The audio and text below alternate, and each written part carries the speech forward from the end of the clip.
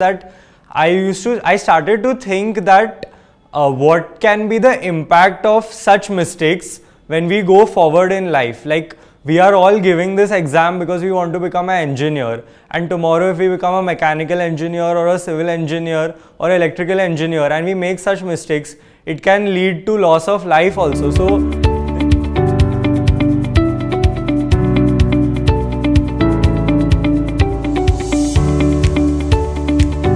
am Aryaman Bhatia, a student of the Pinnacle two-year integrated program at FIITJEE Mumbai. I have achieved a rank of 651 in JEE Advanced and 969 in JEE Mains 2023.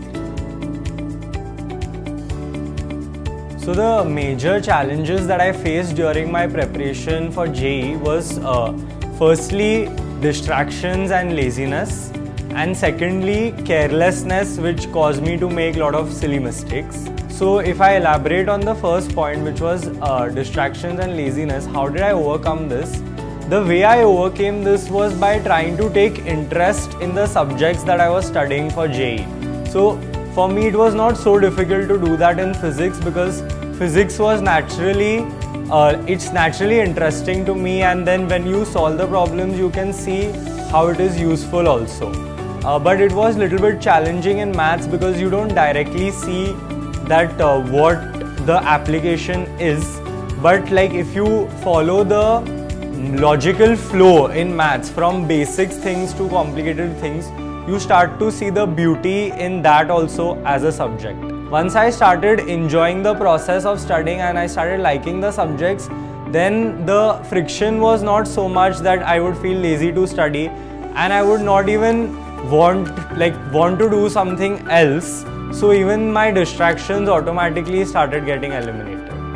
And to elaborate on the second point which was carelessness which caused me to make silly mistakes. But one thing that helped me at least reduce them from a higher level was that I used to, I started to think that uh, what can be the impact of such mistakes when we go forward in life. Like we are all giving this exam because we want to become an engineer and tomorrow if we become a mechanical engineer or a civil engineer or electrical engineer and we make such mistakes it can lead to loss of life also. So the the, the not avoiding the mistakes now the skill which we will learn from that is really required in the field that we are entering.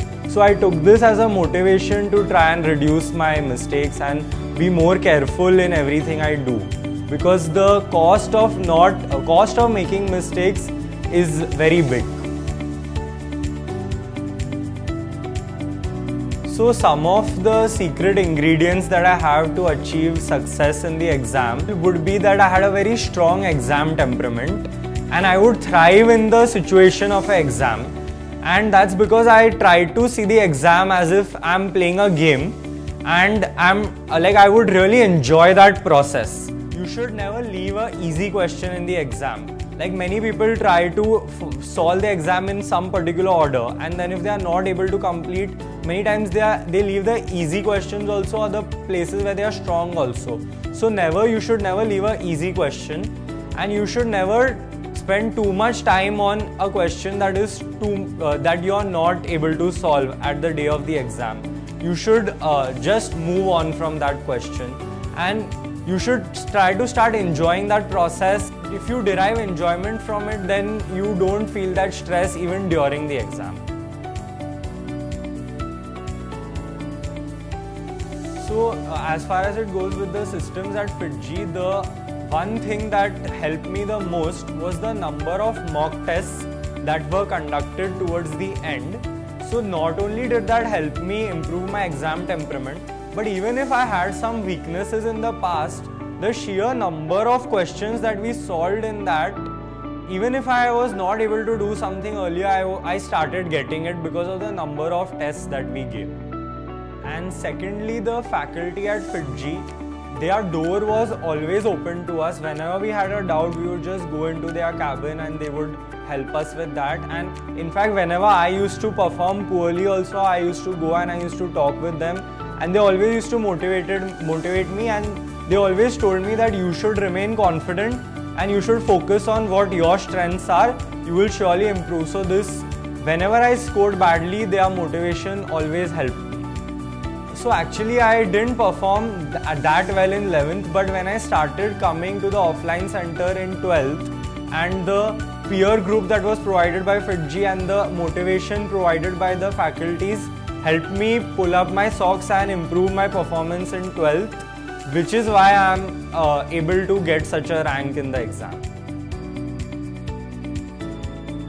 So my message for the future aspirants of JEE is that you should work hard, focus on one task at a time and don't be anxious about the final result, result all the time, just focus on what you're doing currently. I'm really grateful to my parents, the faculty at FIITJEE and especially the systems at FIITJEE which has always pushed me to be better and the result of that is the rank that I have today.